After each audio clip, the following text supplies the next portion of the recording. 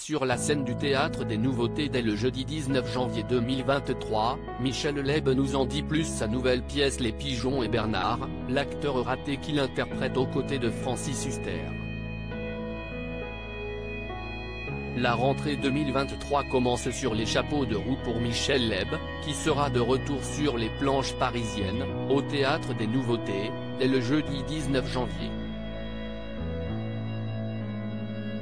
Et pas aux côtés de n'importe qui, pour sa comédie Les Pigeons, Francis Huster lui donne la réplique dans cette pièce qu'il a écrite et qui, promet-il avec mystère, pigeonne aussi bien les personnages que le public. À cette occasion, le compagnon de longue date de Béatrice Malicet, papa de trois enfants artistes dont le comédien Tom Leb, qui avait fait ses débuts à 13 ans à ses côtés, et la chanteuse Fanny Leb, qui va formidablement bien après de douloureuses épreuves, a accepté de répondre à nos questions sur ce nouveau bébé.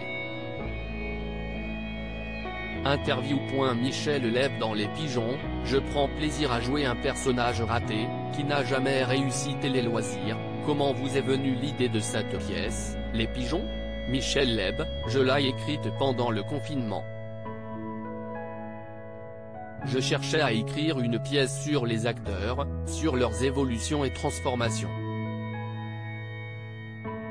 Elle commence d'ailleurs par une séance de casting, CIST une comédie autour d'acteurs? Qui cherchent des rôles? Vous mettre dans la peau de Bernard, acteur de second plan, a-t-il parfois été douloureux? Il rit. Il faut demander ça à Francis Huster, qui joue Serge. Ça ne m'a pas gêné car si est un rôle, je prends justement du plaisir à jouer un personnage raté, qui n'a jamais rien réussi et est toujours resté dans l'ombre. Comme le personnage de Huster. Ce sont deux mecs qui sont complètement passés à côté d'une grande carrière. Ce rôle a-t-il parfois résonné avec certaines de vos peurs, en tant que comédien? Oui car si est un métier dangereux? On est plein d'ambition, plein d'envie, de souhaits profonds. De rêves. Les deux personnages des pigeons rêvent d'ailleurs en permanence, ils auraient aimé être au top niveau.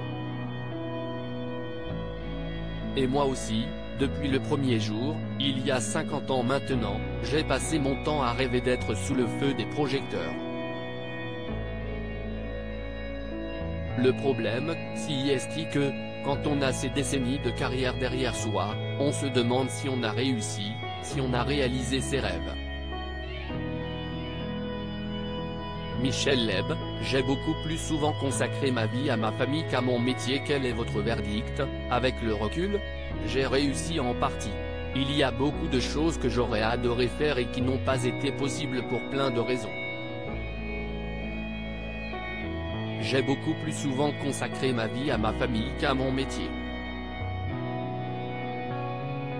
Si est obsessionnel chez moi, la famille.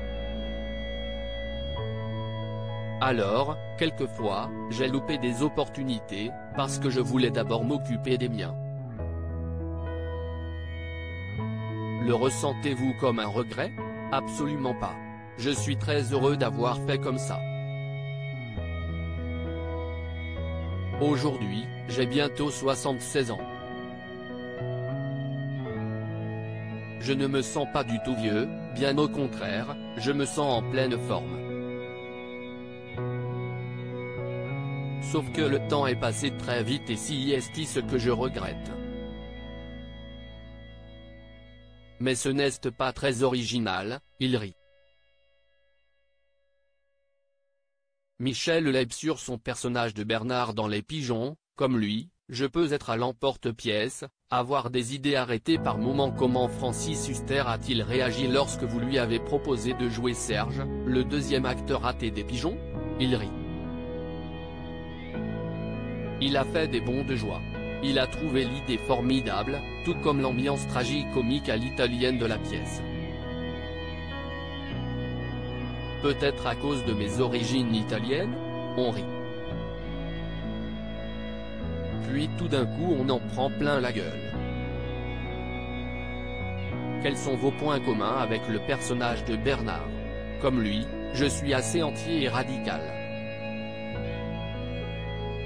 Pas dans le sens où je ferme des portes mais je peux être à l'emporte-pièce, avoir des idées arrêtées par moments.